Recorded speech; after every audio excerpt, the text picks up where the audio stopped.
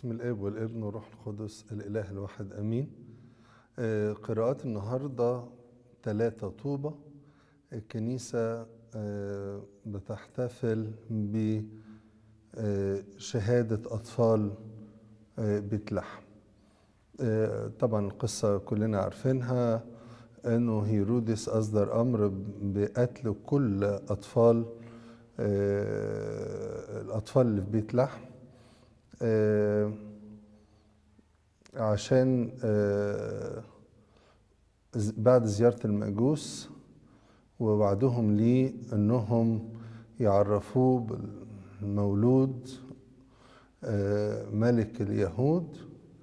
آه، لما المجوس ما رجعوش لهيرودس تاني آه، حرصا على ملكه من الخطر قرر إنه يقتل كل الأطفال الموجودين في بيت لحم من سنتين فما دون الحقيقة الكنيسة آه، كعادتها تستغل ال- المناسبة دي عشان توصل لنا من خلالها رسالة مهمة وده واضح جدا في القراءات. آه، طالما الحكاية آه، المناسبة النهاردة يعني فيها أطفال آه، بنبص نلاقي الكنيسة بتكلمنا عن رؤية جميلة جدا بخصوص الأطفال آه، وبتدينا من خلال الصغيرين إحنا الكبار وإحنا الصغيرين دروس. آه، أول حاجة الكنيسة بتلفت نظرنا آه، آه، ليها في آه، موضوع الأطفال البراءة والنقاوة. ودي السمة المميزة للطفل أو لسن الطفولة. الطفل دايما كلنا نقول ده طفل بريء بسيط نقي.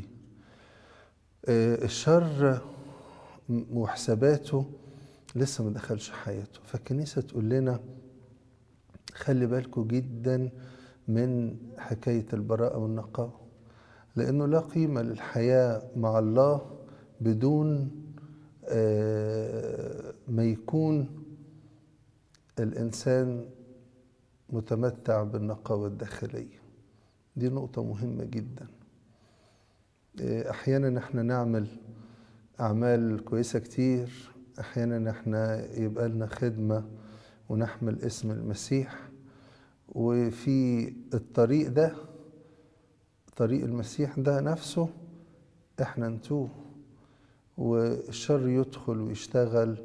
وتبقى الأمور بعيدة تماما عن مضمون الحياة مع الله. الكنيسه النهارده تقول لنا خلي بالكم الأطفال اللي النهارده هيرودس قتلهم لأجل اسم المسيح بيدونا درس. يقولوا لنا خلي بالكم آه، من براءتكم من نقائكم الداخلي. وده اللي قاله السيد المسيح ونلاقي الكلام في إنجيل عشية. النهارده السيد المسيح يقول لنا إن لم ترجعوا وتصيروا مثل الأولاد فلن تدخلوا ملكوت السماوات. طب وإحنا لو ما دخلناش الملكوت وأصبحنا في حضرة الله نتمتع بيه على الدوام يبقى إيه قيمة الحياة في المسيح كلها؟ وده قاله معلمنا بولس الرسول إن كان لنا رجاء في المسيح في هذه الحياة فقط فنحن أشقى جميع الناس. فإذا كان الهدف هيضيع اللي هو الوجود في حضرة الله الوجود في المسيح في الملكوت يبقى مفيش قيمة لأي حاجة تاني. عشان كده آه، السيد المسيح في إنجيل عشية يقول لنا لازم تبقوا أنقياء. هنا طبعا ترجعوا وتصيروا مثل الأطفال مش في سلوكياتهم الصبيانية الصغيرة. لا أكيد في النقاء الداخلي. ودي نقطة مهمة جدا. انتبه لنقاء قلبك. أوعى الشر يتسلل بهدوء ويتراكم ويصبح الإنسان فجأة دون أن يدري إنسان شرير في قلبه. حتى لو كان عليه رداء المسيح. ونفس المعنى الكنيسة اتكلمنا عنه في الكاثوليكون. معلمنا بطرس الرسول يقول كأطفال مولودين الآن اشتهوا اللبن العقلي العديم الغش لكي تنمو به. كأطفال مولودين الآن دي معناها دي أقصى درجات النقاء. الطفل في اللحظة أو اللحظات الأولى لميلاده دي أنقى صورة يمكن لما يبقى عنده أربع سنين ولا حاجة هيبقى اكتسب حاجات يعني ولو بسيطة من المحيطين حاجات سلبية لكن الطفل المولود الآن دي دي أكتر صورة نقية للإنسان أه؟ ودي دعوتنا في المسيح نبقى زي الأطفال في أفضل صورة نقاء ليهم. فكنيسة النهاردة أه بتقول لنا خلي بالكم من نقاء القلب. أه اللي هي السمة الأساسية في الأطفال. عايزانا الكنيسة كأم أمينة محبة مهتمة بولادها تقول لنا خلي بالكم عايزاكم في أفضل صورة نقية. والفكرة دي الحقيقة الكنيسة مش بتبقى عندها مجرد أمنية. لا ده الفكرة دي عند الكنيسة آه عبارة عن أفعال كثيرة. الأسرار كلها هدفها إيه؟ ها؟ إن الإنسان يتنقى. آه ونفضل نستعد ننقي جوانا عشان ناخد بركات الأسرار. فندخل ناخد الأسرار وإحنا مستعدين ومتهيئين وعملنا عملية تنقية داخلية وكمان النعمة والعطية بتاعت الأسرار تدينا عمق في النقاوة أكتر وتقودنا في طريق النقاوة. الكنيسة بتعليمها بتدي توعية بتدي توجيه في ح... للإنسان في حياته عشان يبقى أكثر نقاوة. دعوة مهمة جدا. مش عايزينها تضيع مننا وسط المسؤوليات والمشغوليات اللي ملقاة على عاتقنا في حياتنا في العالم. ده أول درس دي أول رسالة النقاوة البراءة. الدرس الثاني سمة مهمة جدا أيضا في الطفولة. النمو. نلاقي دايما الطفل يوم بعد يوم شهر بعد شهر سنة بعد سنة بيكبر. ولو في طفل كده غاب عن عينينا كم شهر ولا كم سنة تبص نلاقيه كبر. غير الإنسان اللي تقدم في العمر آه النمو ما يبانش عليه قوي لكن يبان على الطفل. لأن سن الطفولة ده سن آه النمو. آه وسن الرغبة في التعلم الاتنين مع بعض. آه النمو والرغبة في التعلم. آه نلاقي الطفل برضه في سن الطفولة أسئلته كتير.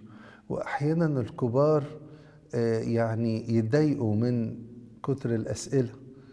أه؟ طب هو عايز يعرف. عنده رغبة إنه يعرف. لأن اللي نعرفه إحنا ككبار من معرفة ومن خبرات هو لسه ما يعرفوش وما اكتسبهوش فمحتاج يعرف فيبقى عنده رغبة جارفة آه إنه يتعلم. آه عشان كده الكنيسة في البولس معلمنا بولس الرسول يقول لما كنت طفلا كطفل كنت أتكلم وكطفل كنت أفطن. وكطفل كنت أفتكر ولكن لما صرت رجلا أبطلت مال الطفل إيه اللي حصل؟ حصل نوع من النمو المعرفة المنقوصة بتاعت الطفولة أو عدم المعرفة اللي خلتني بفكر وبتصرف وبأسلك وبتكلم بدون خبرة وبدون معرفة اللي هو الأمر اللي يتناسب مع الطفولة لا خلاص ده بقى حصل نوع من النمو. آه خلاني أبقى أكثر آه وعيا وأكثر فهما وأكثر نضجا. آه والآية اللي قلناها من شوية بتاعت الكاثوليكون كأطفال مولودين الآن اشتهوا أنتم أيضا اللبن العقلي العديم الغش. الاشتهاء ده دي الرغبة في التعلم ها؟ اللبن العقلي هنا اللي هو غذاء العقل.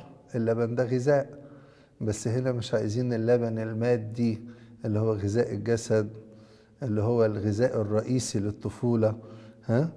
آه ما هو اللبن ده هو اللي الغذاء الرئيسي اللي بيخلي الطفل ينمو. آه هنا اللبن العقلي اللي هو غذاء العقل المعرفة وبالذات معرفة كلمة الله. فالكنيسة تقول لنا إيه الأخبار؟ في نمو ولا مفيش خلي بالكم القامة الروحية هتظل في حالة نمو دائم النمو مطلوب لها على طول. الكنيسة تقول لنا ده في أطفال النهاردة استشهدوا عشان المسيح ها؟ الأطفال دول بيفكرونا بالرسالة بتاعتهم اللي هي إيه؟ ها؟ إحنا بنكبر ولا لأ؟ في نمو ولا مفيش في حاجات بتعطل النمو ولا الحكاية ماشية كويس؟ والنمو هنا مش مقصود بيه النمو الروحي بس.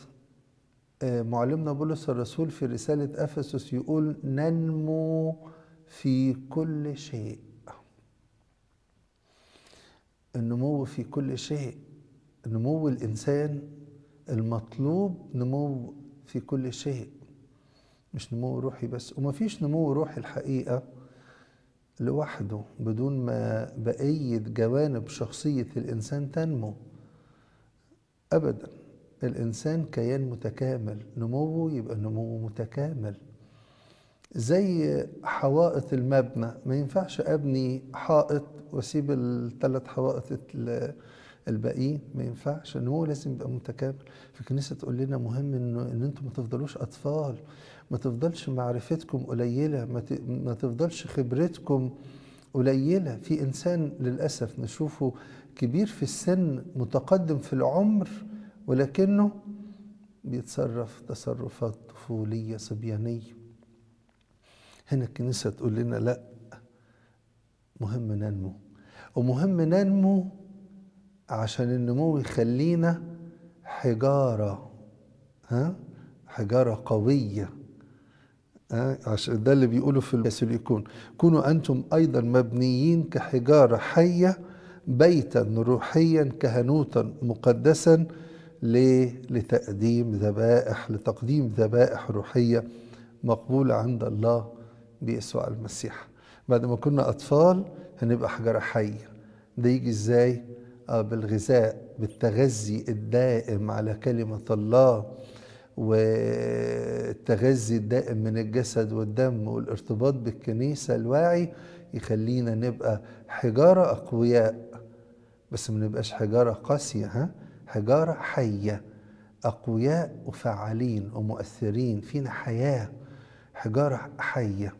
هي دي الصورة بعد ما كان الكلام عن الطفولة ها؟ الكنيسة تقودنا كده في القراءات عشان نكبر. ونبقى صورة رائعة. الحاجة الثالثة الكنيسة تقول لنا خلي بالكم الأطفال دول صغيرين وأحيانا الناس تبص لهم على أساس أنهم قليلين وبنغلط غلطة كبيرة ككبار لما الطفل يبقى بيتكلم وإحنا نتجاهل كلامه ونتجاهله. ها؟ الكنيسة تقول لنا لا خلي بالكم الله بيهتم بالطفل وبيهتم بالصغير وبيهتم بالقليل. عشان كده في إنجيل باكر يقول لنا انظروا لا تحتقروا أحد هؤلاء الصغار. وفي إنجيل باكر السيد المسيح يكلمنا عن الخروف الضال. الواحد اللي وسط المية يقول لنا القليل ده أنا طلعت دورت عليه ورحت عشان أجيبه. اوعوا تهملوا الحاجات الصغيرة. لأن الصغير لما نهتم بيه هيكبر ويبقى حاجة كبيرة كل عظماء الحياة كل عظماء التاريخ كانوا صغيرين وكانوا مهملين وكانوا مش معروفين عفوا لكن في النهاية لما تم الاهتمام بيهم الصغير كبر وبقى حاجة عظيمة وأضاف للحياة أضاف للعالم وأضاف للكنيسة وأضاف. لكل الناس اللي تعامل معاها وكان حجر حي قوي مؤثر. الله يعطينا أن نعي الرسائل اللي ربنا بيبعتها لنا من خلال عطاءات الكنيسة له المجد في كنيسته من الآن وإلى الأبد. آمين.